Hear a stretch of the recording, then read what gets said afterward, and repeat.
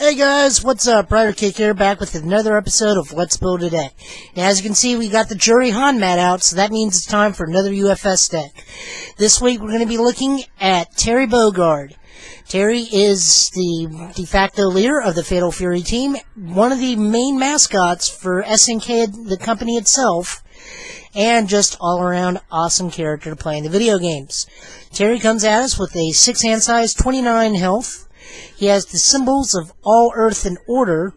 All and Earth are actually the two main symbols for the Fatal Fury team coming up in the Jasco game set KOF 13, which will have both Terry, Joe, and Andy. He also, the O and Earth symbols are the two primary symbols for the Fatal Fury team. Terry, much like Joe and Andy, also have the first enhance of dis discard one card from the opponent's card pool.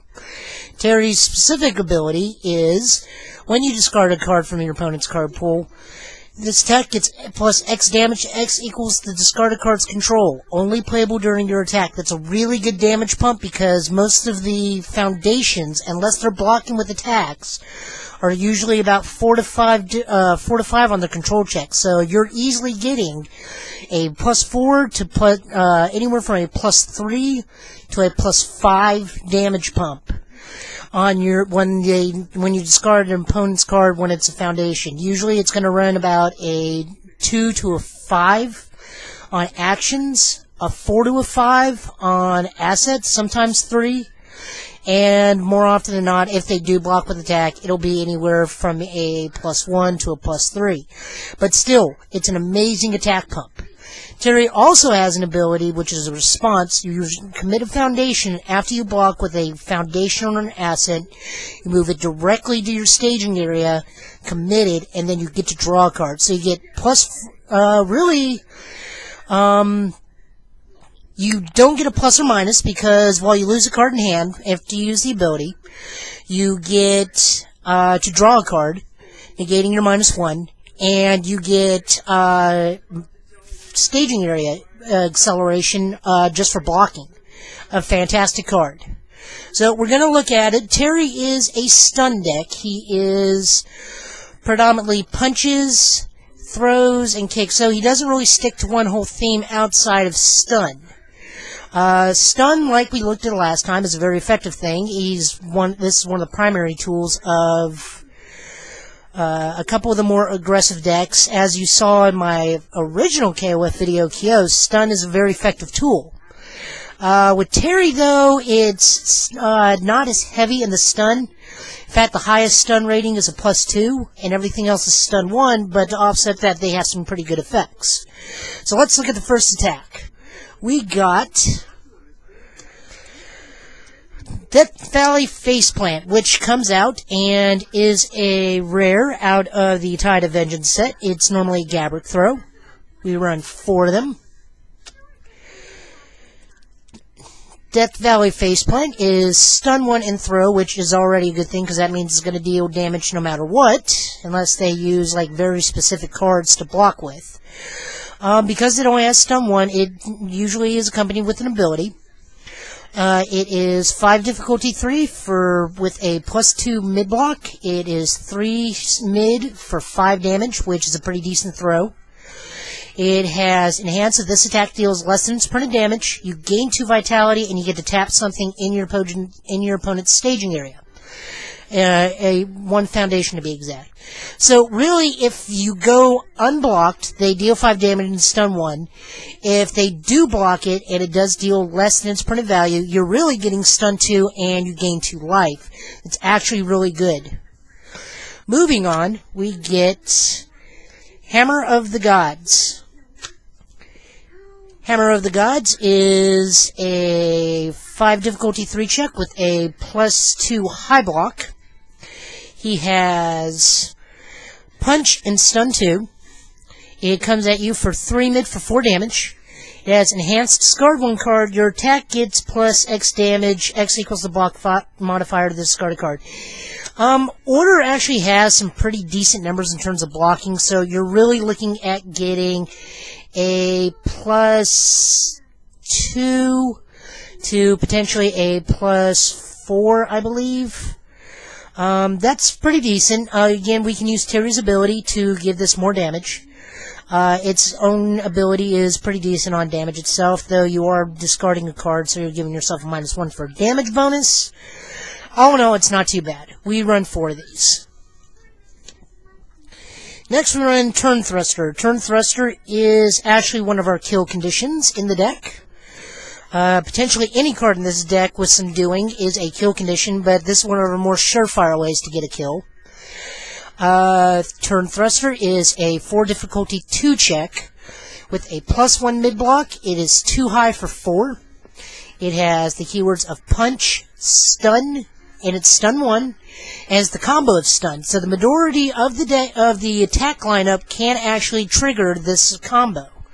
The combo is this attack gets plus four damage, so it becomes a two high for eight. It also has the enhance of this attack gets plus three speed. Your opponent may tap one foundation to cancel its abilities. So it has a built-in speed pump, and your opponent has to commit something in their staging area, really giving this potentially stun two. We run four of these. Um, this is one of the only two checks in the deck. I don't have anything else lower than this card. Checking this card is obviously not a great thing, but because it can potentially end the game right there, I do run four of these. Next up, we have three of the boot. The boot is a four difficulty attack with a three control check. It has a minus, or a plus one, excuse me, plus one low block. It comes in at three mid for five. It just has kick and stun one. It's actually a deceptively good card. It has a plus one low block, which is amazing. It's four difficulty for five damage, which is really good, and it keeps on the theme of stun. We only run three of these, though. We have other cards in there that do pretty much this, but it also helps us get Turn Thruster active. It also has uh, plus three speed, which speed will actually determine once we get into the foundations. Finally, we have the only non-stun cards of the deck, Reload. Reload is 3 difficulty for 3. It has a plus 2 high block. It comes at us at 4 high for 2 damage. The reason this attack is in here is for its enhance ability, which actually helps feed into Terry's ability. Should this attack, it has enhance. If this attack deals damage, your opponent must add one foundation from their discard pile to the card pool. The reason why this is so good is that, as I said just a moment ago, it feeds into Terry's ability of being able to discard from your opponent's card pool. It also adds to your opponent's progressive difficulty while blocking, making it harder for them to block your following up attacks. All in all, it's a good card. We only run three of them because it only keeps on theme with Terry's ability. It also, the four hot, the four speed will play into a card we'll discuss later on down in the video. But we're only running, as usual, around 18 attacks in this deck.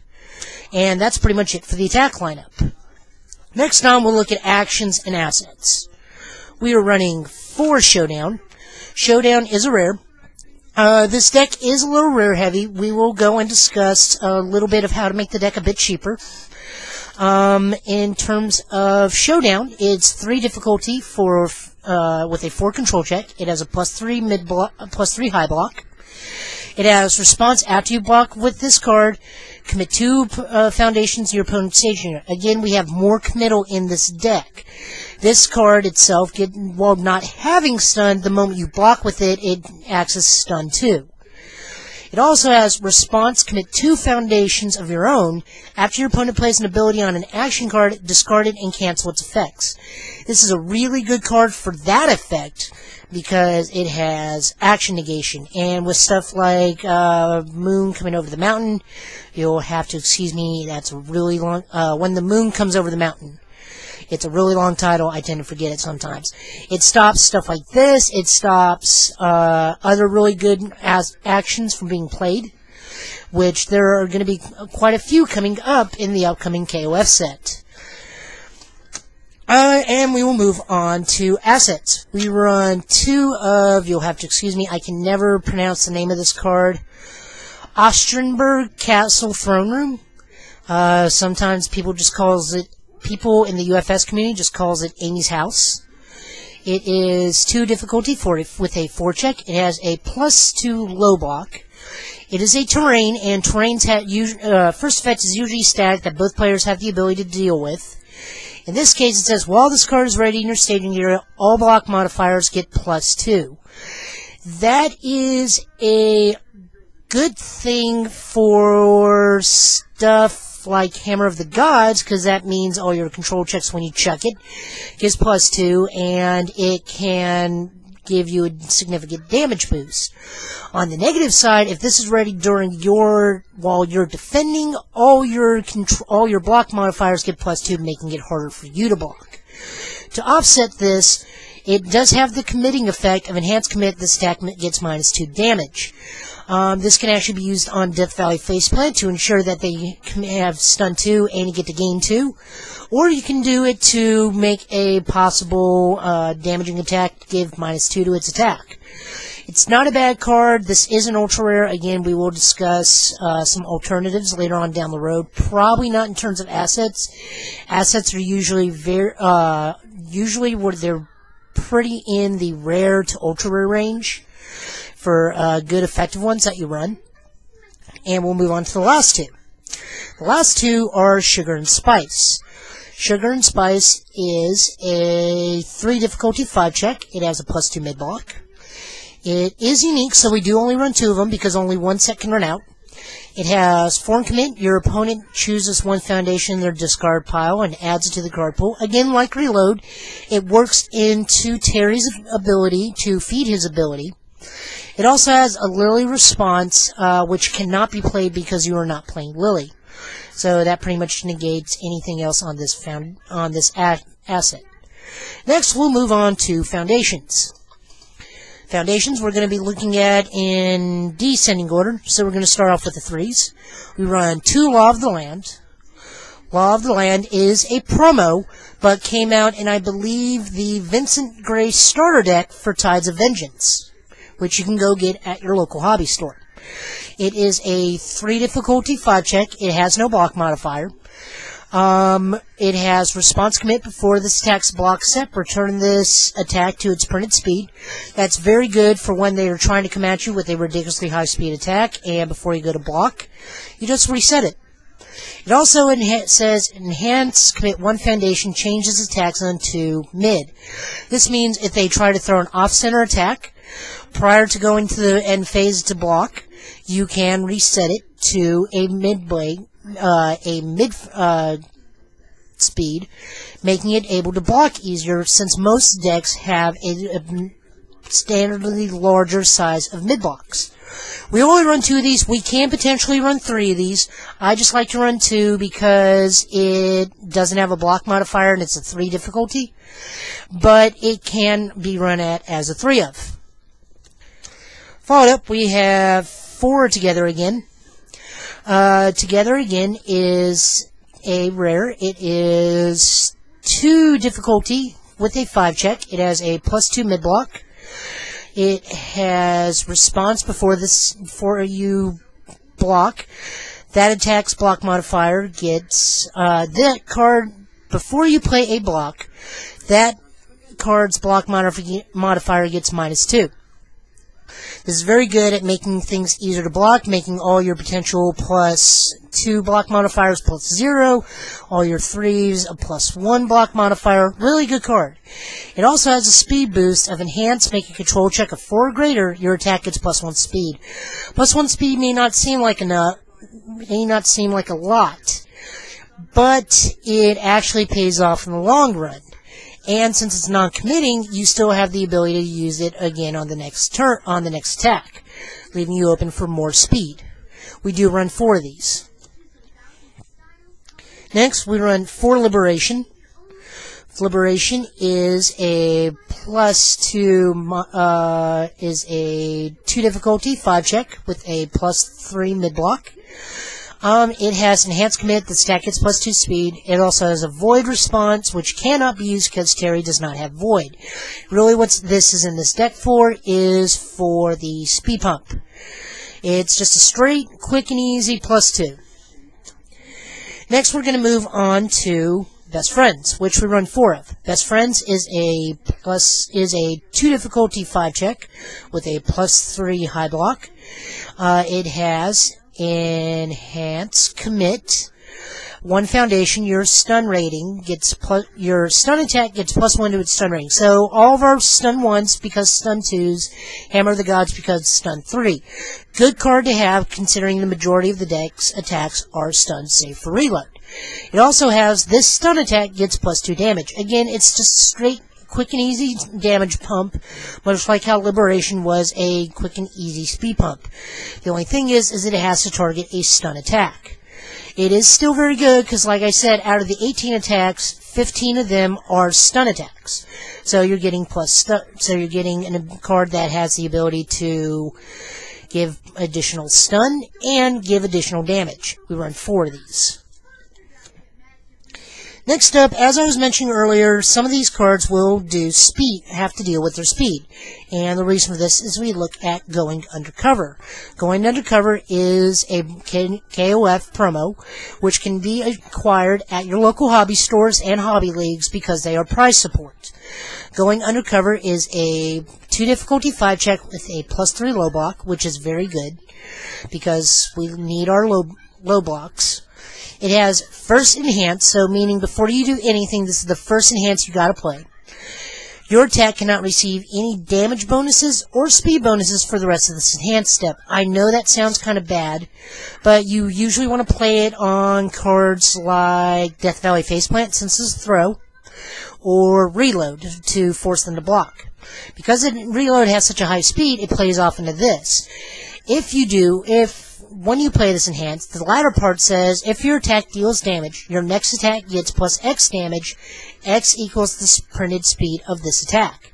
So with Death Valley Faceplant, if you play it on Death Valley Faceplant, your next attack will get plus 3 damage. If you play it on Reload, your next attack, should it deal damage, get plus 4 damage more of most of the attacks, if you do tend to play these, although I really only would say use going undercover on either Reload or Death Valley Faceplant. Mostly because Reload will bait a block out of their hand, making them lose a card, and Death Valley Faceplant, unless they block with certain cards that totally negate damage of a throw, it's always going to deal damage making uh, going undercover trigger. The rest of the time, you just want to use Terry's ability. But going undercover is, like I said, a low block, which is always coveted in UFS decks, more specifically in standard, where they're harder to come by. So we run four of these because it kind of works with the deck, and it can potentially make any card a game-ending attack. Next, we have three Yadamir restored. Much like going undercover, Yadamir can be attained at your local hobby league as it is prize support for KOF. It's unique, so we only run three of these. Traditionally, in, when I run unique unique abilities, I only run two of them. However, since this is a low block, as it is a one difficulty five check with a plus three low block, I do run three of these. It is unique, as I just said. It has enhance, commit, choose one attack in your opponent's card pool.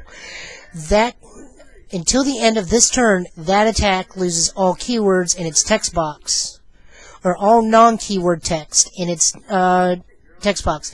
That means it potentially blanks an attack, making it lose anything. Till this, that attack loses all non-keyword text in its text box. Yes, this makes any attack um, essentially just a blank attack. If they have do something with the character, you just follow up with Yadamir Restored, and whatever's in their text box is gone. That is a really, really good card. Next up, we're going to look at Juggle. Juggle is a 1 difficulty, 5 check, with a plus 3 mid block. Uh, it says enhance. Add this card to your momentum. Your opponent may add one foundation from their staging area to their momentum to cancel this effects. Um, momentum generation is really not needed in this deck.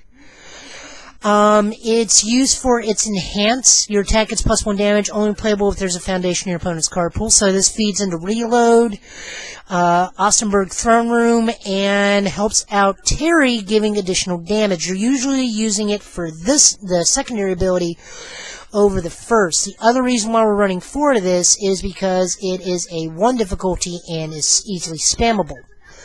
Uh, next up, we will look at Into the Sunset.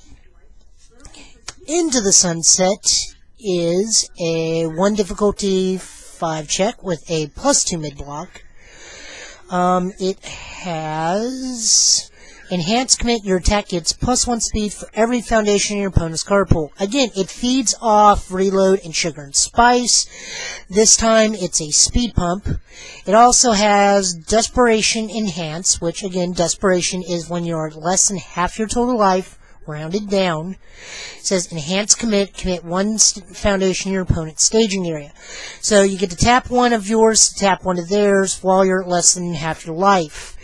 Really good card. Um, again, it's another speed pump. The Desperation E is easily usable. Um, and it's got a plus 2 block modifier as opposed to Juggle's plus 3.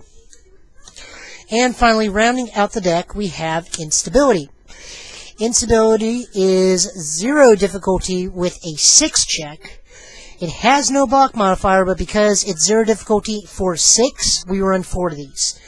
It also helps out Terry, uh, Terry's stuff because if you destroy this foundation and your opponent plays an ability that would decrease the amount of damage they're going to take, you can cancel that effects. And it's playable while committed.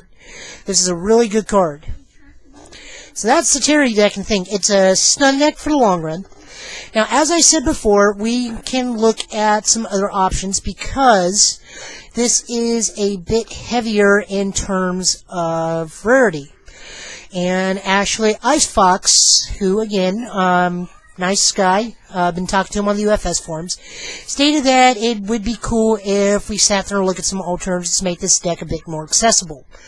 Um, we can turn this into a throw deck pretty easily. Uh, we can replace most of the punches with throws and make this a throw heavy deck. Pardon me. Um, we could take out Turn Thruster and uh, Armor of the God, Hammer of the Gods, and turn those into Lunar Catapult and Spinning Necro Driver. Um, leaving Death Valley Faceplant in there. If you don't have Death Valley Faceplant, uh, you could replace it with uh, Over the Shoulder Throw, which can be acquired in Tekken 6. Um, the boot's pretty common. That's a really good card. It should pretty much go in any deck that it can run it, or any deck that's running either the kick theme or stun theme. Uh, Reload, we don't really have anything too much to worry about. Uh, Throne Room is an ultra rare. Um, if you want to, it can be replaced with Palsgy, which is just a rare, make it easier to get a hold of. Um, sugar and spice, uh, alternatively, could also be replaced with Palsgy. It's just an ultra rare for a rare. Uh, Showdown can be switched out with Confine. Um, Confine lets you get attack back from your mo momentum, as opposed to what Showdown does. Um, let me think. What else can we switch out here? Um, Together again can probably be switched out, though it's kind of really good in the deck. Um, potentially you could switch it out for maybe two weight of the weight of memory, which would um, be anti-draw when because way the memory says response command after your opponent plays an ability that would draw one or more cards.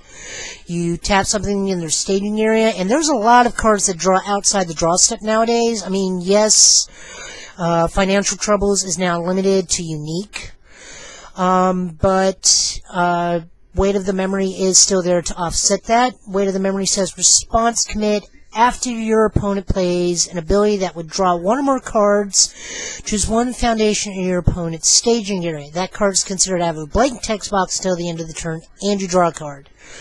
So when they draw, they get something blank, and you get free draw. We only run, why would only run two of these, because uh, while the effects are numerous, they are often limited to uniques as well. And um, to offset the other one, we would run probably two No Sympathies, which is a two difficulty five check. Um, it has enhance after your ability is negated. Commit two things in your opponent's staging area. So if they have uh, negation abilities, you have the ability to tap more. It also has uh, first enhance, which probably you don't want to use uh, unless you're not going to use going undercover. It says uh, enhance, commit, discard a momentum, draw a card, and gain two, only playable during your attack. So you can tap it to draw another card, gain two life. Um, I would run No Sympathy and Weight of a Memory in the sideboard. Um, along with uh, three copies of Silence. Uh, Silence is unique. It is three uh, difficulty 4 check with a plus 3 low block. It is an ultra rare. So uh, that's in the sideboard for Yadimir Restored. Um, it's unique, so you can only have one out and played at a time. You can remove this, it says form, remove this card from the game, name a non-character card. If there's more than one copy of the name card, turn all copies of that card in both players' staging areas face down. Those cards are considered blank text boxes. That is a permanent blanking for a one complete card in both staging areas. So it does have the drawback of blinking anything potentially you have too, but it gets rid of a whole thing in their staging area. Um, it's a good card, but like I said, it's 3 difficulty 4. We can run, replace it with Yadimir Restored, or we can replace it with Law of the Land. Um, but usually silence sits in the sideboard along with no sympathy and weight of a memory. The deck has quite a bit of blocks. Out of the total of 59 cards plus character, 53 of them have blocks, meaning 6 don't. That's really good. The blocks are pretty accessible and easy to do. Um, most of them are plus threes, and that's pretty good. Plus threes, plus twos, plus ones. You don't have really too many bad blocks. The deck itself is a all-range deck. You can rush pretty quickly with Ter with Terry's ability. You can stay late game because of the throws and because of some of your effects. Uh, mid-game, the deck is just fine where it is. This deck has a little bit of everything. It more focuses on committing your opponent's staging area while doing high uh, damaging attacks. It does have some damage negation. It has some control elements like uh, reload, uh, into the suns or uh, juggle and sugar and spice by clogging your card pool. So it's a pretty all-around deck. It's just a bit rare heavy. So that is Terry Bogard. Terry Bogard, the one I showed you guys, is actually a promo. It is a foiled card that you could only get by going to Gen Con or winning a national level event, or a regional level event, I believe. Um, Terry will come out again, uh, actually this month, or actually next month. I keep forgetting we're still in June, since KOF potentially drops in July. Um, it will be non-foiled, however, but it will be the same Terry we just discussed. Terry is probably one of the better cards in the set, in my opinion. I highly look forward to playing more of his stuff, which we will go back to Terry once the new K, uh, KOF cards come out, because you can easily switch out uh, a couple of the card attacks in this deck for Terry cards. But we'll look at those when the cards actually come out. So that's it for this episode of Let's Build a Deck with UFS. In two weeks, I'll be coming back with the one of the founding fathers of Kyokugen Ryu as we look at Mr. Karate. So I'll see you guys in two weeks for more UFS. Hey guys, Ready Kick here. Just want to say thank you for watching. Please leave all comments and criticisms in the comment section below. Your feedback helps me make this little show better. Also, please remember to go to my blog, totaljusticegaming.blogspot.com, and also hit the Facebook page. Uh, like it and let me know that what you guys think. Uh, also, the Facebook page is a place to go where uh, you guys can keep an update with the website. Website's going to be updated as much as I possibly can, about once a week. So again, thank you for watching, and I'll see you on the next Total Justice Gaming. Let's build a deck.